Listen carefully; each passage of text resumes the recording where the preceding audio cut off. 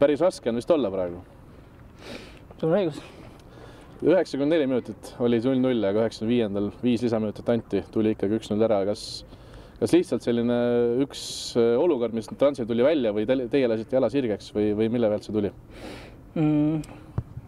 ei usu, et lasime jala sirgeks, et ma arvan, et hea pall oli ja, ja Kulovjov vist lõi yeah. hästi lõi seal ära, et kui vaatame paar sekundit tagasi, ega seal jalg, ise lõin seal jalamättesse või, või libisesin ja lõin pallist üle, et äh, sellesse see nagu alguse sai, et pff, oleks väärinud kindlasti viiki, ma arvan, siit, kui mitte võitu, et meil oli teisel poolajal, Essa poole põhjal võib-olla oli nagu võrdne, terve mäng tegelikult oli väga võrdne, et äh, kuigi meil oli kaks kuldset võimalust Kaimaril ja Karl Kristjanil, et nagu jah, vana jalgpallide ta on, et kui see ära ei löö, siis lüüakse sulle ja täna ta läks nii, jah no Zahharljuka ütles, et see tõenäoliselt otsustas ära, et nemad on kuuendad ja teie sinna enam ei pürgi, oled sa nõus äh,?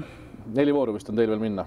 jah, mis see vahe nüüd oli, enne oli kaks, nüüd on viis, et äh, jah väga keeruline saab nüüd olema, et oleks kasvõi täna ühe punkti saanud, oleks veel väga palju mängus olnud, et äh, aga elame-näeme, et jalgpallis onnegi häid asju juhtunud, et meie kindlasti alla ei anna. no teil on Floraga mäng ees, Floraga on teile sobinud jah, kui ta Viljandis, Viljandis on, siis jah.